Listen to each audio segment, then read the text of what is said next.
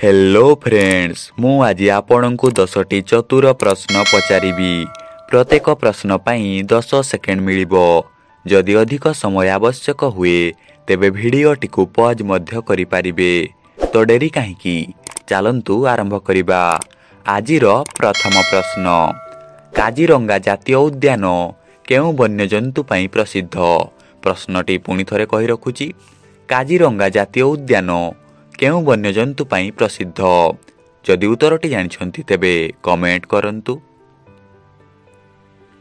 ଏହାର ଉତ୍ତରଟି ହେଉଛି ଗଣ୍ଡା।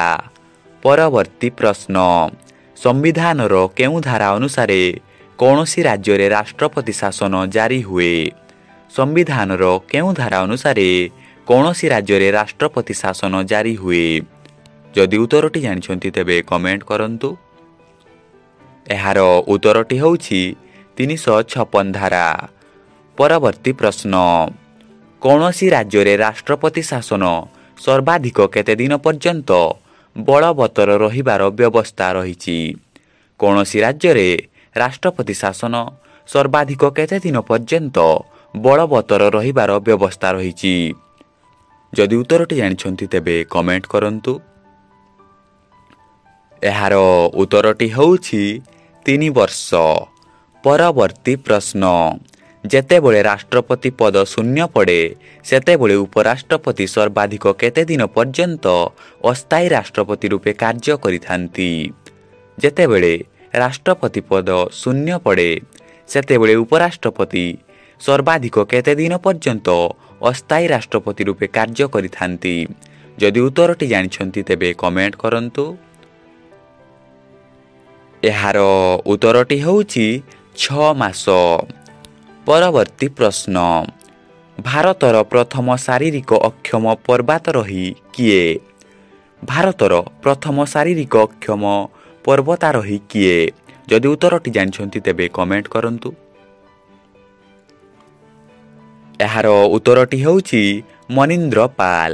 ପରବର୍ତ୍ତୀ ପ୍ରଶ୍ନ। କୈଳାସ ମନ୍ଦିର କେଉଁଠାରେ ଅବସ୍ଥିତ?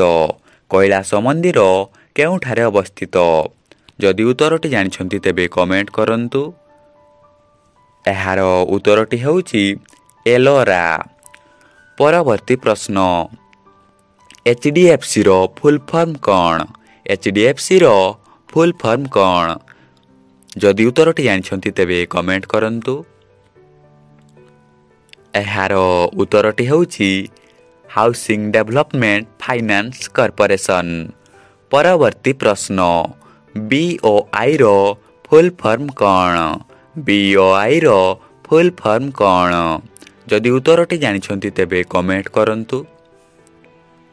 ଏହାର ଉତ୍ତରଟି ହେଉଛି ବ୍ୟାଙ୍କ ଅଫ୍ ଇଣ୍ଡିଆ ପରବର୍ତ୍ତୀ ପ୍ରଶ୍ନ ଏସ୍ ବି ଆଇର ଫୁଲ୍ ଫର୍ମ କ'ଣ? ଏସ୍ ବି ଆଇର ଫୁଲ୍ ଫର୍ମ କ'ଣ ଯଦି ଉତ୍ତରଟି ଜାଣିଛନ୍ତି ତେବେ କମେଣ୍ଟ କରନ୍ତୁ। ଏହାର ଉତ୍ତରଟି ହେଉଛି ଷ୍ଟେଟ୍ ବ୍ୟାଙ୍କ ଅଫ୍ ଇଣ୍ଡିଆ ପରବର୍ତ୍ତୀ ପ୍ରଶ୍ନ। ସମନାଥ ମନ୍ଦିର ଭାରତର କେଉଁ ରାଜ୍ୟରେ ଅବସ୍ଥିତ? ସମନାଥ ମନ୍ଦିର ଭାରତର କେଉଁ ରାଜ୍ୟରେ ଅବସ୍ଥିତ? ଯଦି ଉତ୍ତରଟି ଜାଣିଛନ୍ତି ତେବେ କମେଣ୍ଟ କରନ୍ତୁ। ଏହାର ଉତ୍ତରଟି ହେଉଛି ଗୁଜୁରାଟ। ତ ଫ୍ରେଣ୍ଡସ୍ ଆଜିର ଏହି ଭିଡ଼ିଓଟି ଯଦି ଆପଣଙ୍କୁ ଭଲ ଲାଗିଥାଏ ତେବେ ଭିଡ଼ିଓଟିକୁ ଲାଇକ୍ ଓ ସେୟାର କରନ୍ତୁ ଏବଂ ଏମିତି ନୂଆ ନୂଆ ଭିଡ଼ିଓ ଦେଖିବା ପାଇଁ ଆମ ଚ୍ୟାନେଲଟିକୁ ସବସ୍କ୍ରାଇବ୍ କରନ୍ତୁ। ଆପଣ ନିଜର ବହୁମୂଲ୍ୟ ସମୟ ଦେଇଥିବାରୁ ଧନ୍ୟବାଦ।